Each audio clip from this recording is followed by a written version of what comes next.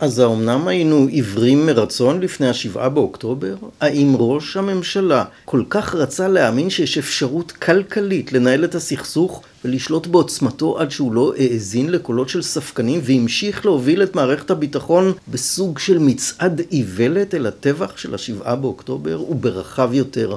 האם יכולים אנשים נאורים, רציונליים, מלומדים, ללקות בעיוורון בגלל התיאוריות האינטואיטיביות שלהם או האמונות המדעיות שלהם? איך הנחות תיאורטיות כלכליות הובילו את נתניהו להזניח היבטים תרבותיים שדווקא הם התבררו בדיעבד כמכריעים? לכן בשיחה היום נברר את השאלות הללו ועוד כמה.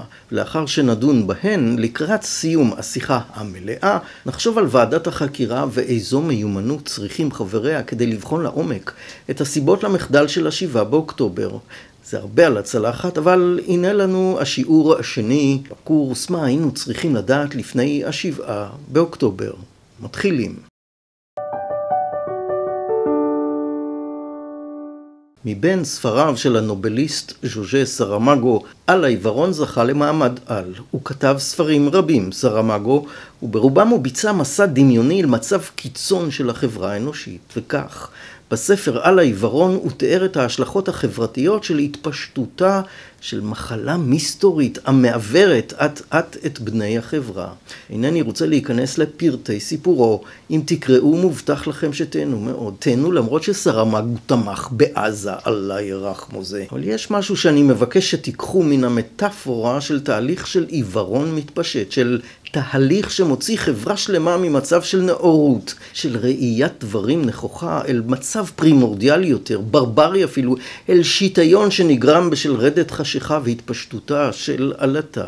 בני החברה והחברה כולם מאבדים את דרכם, והם אינם יודעים אל אן לנווט, וממילא לאיזה בור יפלו בדרכם, וכך קרה אצלנו ולנו. בעקבות השבעה באוקטובר החלו מדברים בישראל ובעולם על קריסת הקונספציה של נתניהו.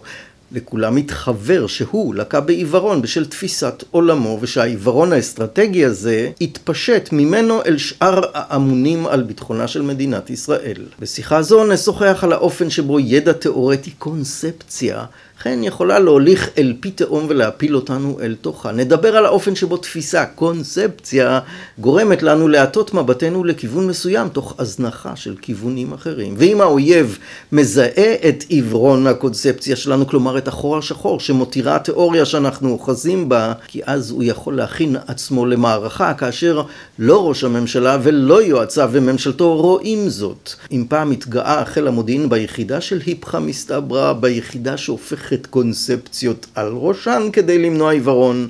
הנה הסתבר שלחמאס היה היפכא מסתברא טקטי הרבה יותר מוצלח משל אמ"ן. האם הוא גם אסטרטגי? על זה נצטרך לדבר בשיחה אחרת. היום נשוחח על תיאוריה ועיוורון.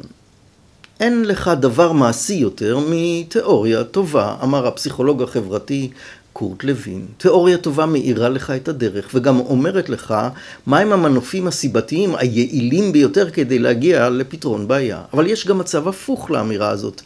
אין לך דבר נורא יותר מתיאוריה מופרכת, כי אם תיאוריה מופרכת לא תוכל לנהל כלכלה, לא תוכל לנחות על הירח, וכן, גם לא תוכל למנוע מעמך טבח נוראי. אז בואו נזכור זאת, אנחנו צריכים תיאוריות טובות, ולתיאוריות טובות מבחינה מדעית יש מבחן שאהוד ברק טבע עבורנו, מבחן המציאות. המבחן האמפירי. כלומר, עלינו לשקול איזו תיאוריה מסבירה טוב יותר מקרים מן ההיסטוריה ואיזו מנבט טוב יותר אירועים עתידיים. וכאן כדאי לחזור לשיעור הקודם על התיאוריות הנפוצות במדעי המדינה לאחר קריסת ברית המועצות. האם התיאוריה של פרנסיס פוקויאמה עמדה במבחן המציאות? ולחלופין, באיזו מידה התממשו נבואות השחור של סמואל הנטינגטון? ובכן, בין שתי ההשערות התיאורטיות שהניחו המדענים מסטנפורד ומהרווארד על השולחן, המציאות הכריעה לטובתו של הנטינגטון. העולם נמצא בהתנגשות ציוויליזציות. אדרבה, הנטינגטון אפילו חזה באופן חלקי מי יתנגש במי. כולם ירצו להתנגש במערב, אמר ותהיה זו קואליציה בין האסלאם לבין ההונים מן המזרח, הסינים שיעלו עלינו. לגבי הסינים הוא צדק במובן של מלחמה כלכלית, אבל לגבי דת האסלאם ומלחמת החרב והדם שלה כנגד המערב, הוא צדק גם צדק. אני יודע, יש שיקשו ויאמרו שבגלל שהנטינגטון לחש חזק יותר מפוקויאמה על אוזניהם של אנשי הנשיא, הוא עורר את ארצות הברית למלחמה יזומה כנגד האסלאם. וכי הספטמבר 11 לא היה מתרחש ללא המלחמה שיזמו האמריקנים בעיראק עשור קודם לכן. אבל היה די בכלים התאורטיים של הנטינגטון להסביר שזה היה קורה ממילא. אני נכנס כאן לדיון צידי ונוותר עליו לעת הזאת. מה שחשוב לנו להבין זה שהתיאוריות שהניחו שני התיאורטיקנים על השולחן האקדמי התבססו על תפיסות עולם שונות, על פרדיגמות שונות, קונספציות על שונות. והפרדיגמות מאירות עבורנו דברים, אבל בהיותן מבוססות על ראייה מאוד מסוימת, הן הותירו דברים אחרים באפלה. ואין לך בנמצא פרדיגמה שרואה 360 מעלות 24-7. כי אם אתה מניח שטבע האדם הוא טוב מלידתו, אתה תפנה מבטך לכיוון מסוים, לשלום נגיד. אך אם התיאוריה שלך יוצאת מנקודת ראות, דגש על נקודת ראות שטבע האדם הוא רע מנעוריו, תוקפני, טריטוריאלי, כי אז תפנה מבטך לתופעות שונות, ולא תראה תופעות אחרות. ודומה שהעולם המערבי מאוד רצה להאמין במצבו הטוב לאחר קריסת ברית המועצות. נשיאי מדינות המערב רצו להאמין שהליברליזם הדמוקרטי ניצח, ושבכך נסתיימו בעיותיו הקרדינליות של המערב, וכל שנותר בעולם זה סקירמישז, מין קונפליקטים זערוריים כאלו. כן, הם רצו להאמין בתזה של קץ ההיסטוריה, בנבואה שבאין עוד אידיאולוגיות מתחרות, חלפה המלחמה מן העולם.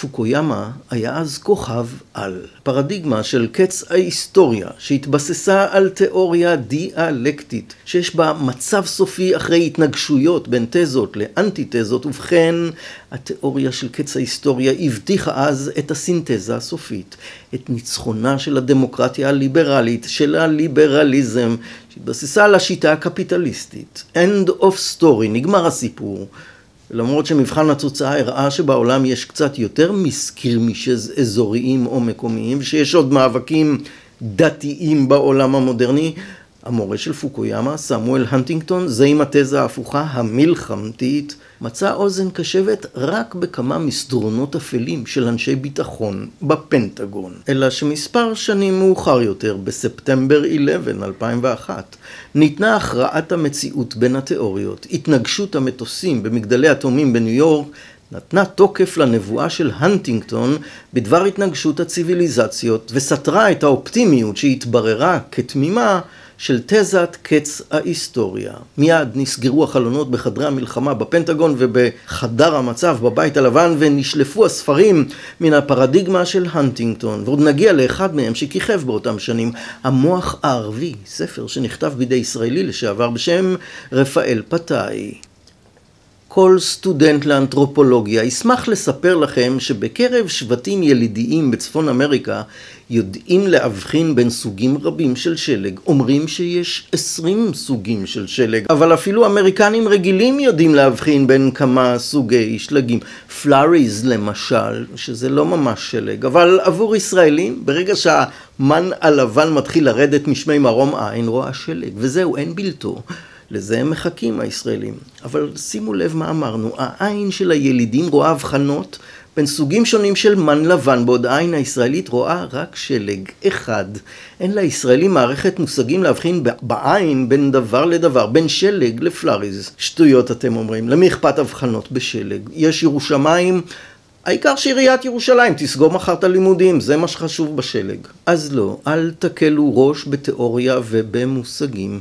כי מושגים משפיעים על המחשבה, ומחשבה על חוש הראייה, ועל מה אנחנו חושבים שצפוי ועל מה איננו חושבים שצפוי, כולל טבח כמו זה של השבעה באוקטובר. קחו דוגמה אחרת, יש שבט באמזונס שאין לו מילים לדבר על העבר. הם לא יכולים להגיד, כמו היהודים, היינו אלפיים שנה בגלות. הם גם לא יכולים להגיד, אתה זוכר מה שהיה לפני השבעה באוקטובר? עכשיו זה אחר. לא יכולים. לא רק שהם לא יכולים לומר משפטים כאלו, בהיעדר המילים של זמן עבר, הם גם לא יכולים לחשוב מחשבות של זמן עבר וגם לא לקיים טקסים על ימי עבר, והם לא יכולים להסיק מסקנות מן העבר לטובת העתיד. הכלים המושגיים שלהם מאירים משהו, אך מחשיכים בראשם אפשרויות אחרות. ויש עוד דוגמאות. יש קבוצות שסופרות אחת, שתיים, שלוש, הרבה. ואין להן הבחנה בפרטים כמותיים מעל שלוש. יש חברות שלא יודעות להגיד, זה מצד מערב שלך, מאחורי הקיר זה עומד אויב שם. כי אם אין אויב, אולי אתה לא צריך להיות מאוד מפותח בחשיבה על ארבעה כיוונים ולמעלה ולמטה, ומלפניך ומאחוריך אתה עומד. למאזינים ביוטיוב, כאן אנחנו נעצור. השיחה המלאה ממשיכה בקורס על מה היינו צריכים לדעת לפני השבעה באוקטובר. הקישור לקורס מופיע מתחת לוידאו בפרטים. השיחה ממשיכה בהיקף כפול, ויש בקורס המלא גם דברים שלא מתאפשר להציג אותם ביוטיוב. אבל אל דאגה, הנה לפניכם שיחות אחרות על הנושא מהיוטיוב, מדאבנים נוספים.